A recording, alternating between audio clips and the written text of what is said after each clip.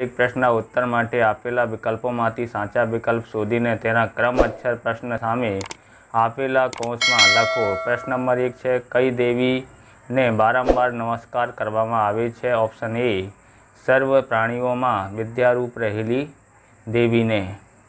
બીજો ક્વેશ્ચન છે, કઈ કવિ કઈ માતાને પ્રણામ કરે છે? તો ઓપ્શન બી સાચું છે.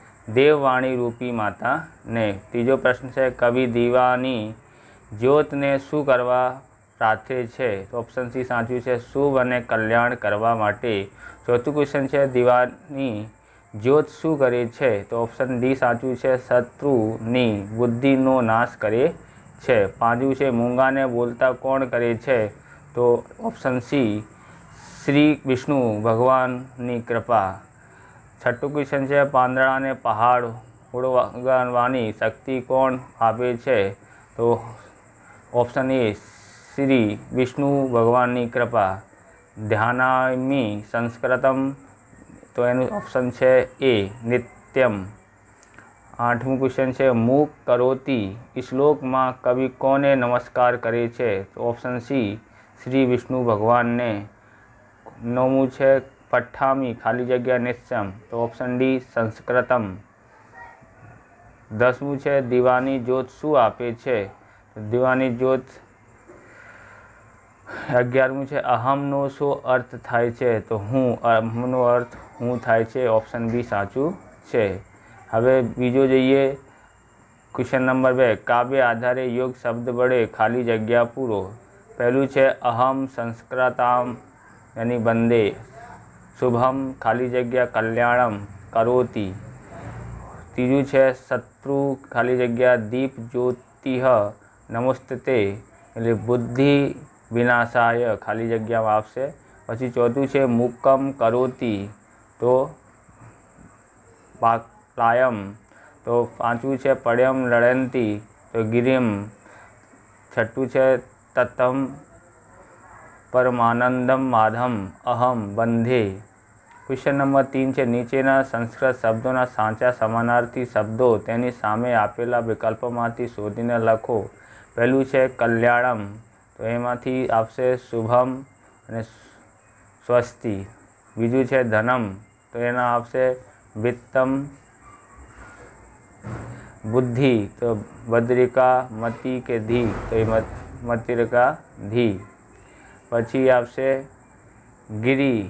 તો એમાં આવશે શૈલ અને પર્વત પાંચમું છે માધવ, વિષ્ણુ, હરિ, પછી સરસ્વતી. તો આવશે શારદા, ભારતી. સાતમું છે શત્રુ, હ.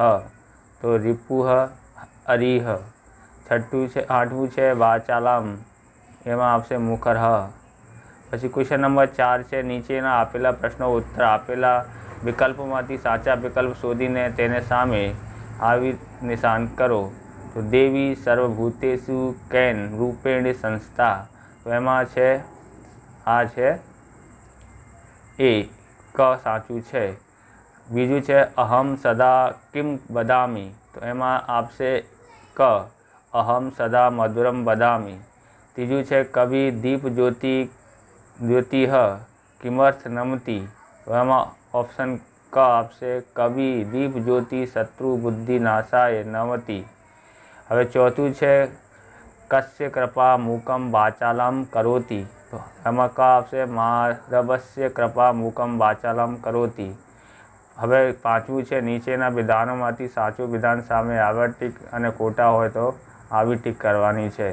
તો પહેલું છે, બધા ભૂત પ્રેતોમાં દેવી વાસ છે. એટલે ખોટું છે, વિદ્યારૂપેલી રહેલી દેવીને નમસ્કાર. આ સાચું છે. હું ત્રીજું છે હું ક્યારે સંસ્કૃત પઠન કરું છું? આ ખોટું છે.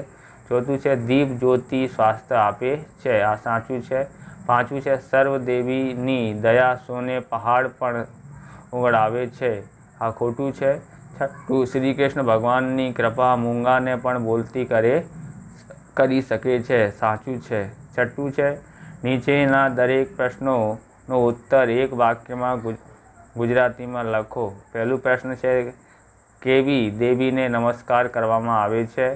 ઉત્તર છે, જે જે દેવી બધા પ્રાણીઓમાં વિદ્યારૂપ રહેલા છે, તેમને નમસ્કાર કરવામાં આવ્યા છે. બીજું છે, કોના વિનાશ કરનારી દીપ જ્યોતિને નમસ્કાર કરવામાં આવ્યો છે? ઉત્તર છે, એમનું મનુષ્યોના મનમાં રહેલ શત્રુ ભાવનાઓનો વિનાશ કરનારી દીપ જ્યોતિને નમસ્કાર કરવામાં આવે છે. હવે આગળ જોઈએ તો ત્રીજું છે, ભગવાનની કૃપાથી મૂંગાને અને પાંગડાને શો ફાયદો થાય છે? તો ઉત્તર છે, ભગવાનની કૃપાથી મૂંગો બોલતો થાય છે અને પાંદડો પણ પર્વત ઓગળી જાય છે. સાતમું ક્વેશ્ચન છે, નીચેના શ્લોકોનો ગુજરાતીનો અનુવાદ કરો. પહેલું છે, પઠામી સંસ્કૃતિમ નિત્યમ વદામી સંસ્કૃતમ સદા. ધ્યાનામી સંસ્કૃત સમક સમયક બંદે સંસ્કૃત માતરમ. એનું અર્થ છે, હું હંમેશા સંસ્કૃત વાંચું છું, ભણું છું, હું હંમેશા સંસ્કૃત બોલું છું, સારી રીતે સંસ્કૃતનું ધ્યાન કરું છું હું સંસ્કૃત ભાષા રૂપી માતાને વંદન કરું છું. બીજું છે, શુભમ કરોતિ કલ્યાણમ આરોગ્યમ ધન સંપદમ. શત્રુ બુદ્ધિ નાશાય, દીપ જ્યોતિર નમોસ્તસ્તે. હે દીપ, દીવાની જ્યોત, શુભ કલ્યાણ સ્વાસ્થ્ય અને ધન સંપત્તિ કર આપ. હે દીપ જ્યોતિ મારા મનને મનમાં રહેલા શત્રુ ભાવનાનો તું વિનાશ કર, તેથી તને નમસ્કાર હો. નીચેના શ્લોકની પૂર્તિ કરો. તે યાદેવી ખાલી જગ્યા નમો નમઃ. તો આનું સર્ચ લખ્યું છે યા દેવી સર્વભૂતેષુ વિદ્યારૂપેણ સંસ્થિતા નમસ્તસ્ય નમસ્તસ્ય નમસ્તસ્ય, નમો નમઃ. બીજું છે મુખ કરોતી. ખાલી જગ્યા માધ્યમ. મુખ કરોતી બાલમ પટ્યમ ભણયંતી ગિરિમ. વ્યક્ત કૃપા તહમ વંદે પરમાનંદા માધમ. આવી રીતે આ વીડિયો પૂરું થાય છે. તમે વીડિયો સારું લાગ્યું હોય તો વિડીયોને લાઇક કરવાના ચેનલને સબસ્ક્રાઈબ કરવાના. મળીએ બીજા વિડીયોમાં જય હિન્દ, જય ભારત બંને માતરમ.